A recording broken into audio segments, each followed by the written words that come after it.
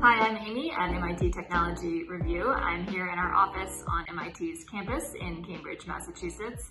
And I wanted to take a moment and tell you about a package we've been working on recognizing outstanding innovators under the age of 35.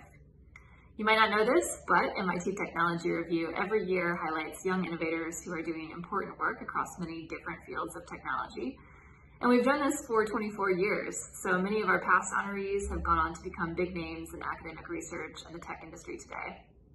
The package is really our way of recognizing these young people for their incredible achievements so far in their careers.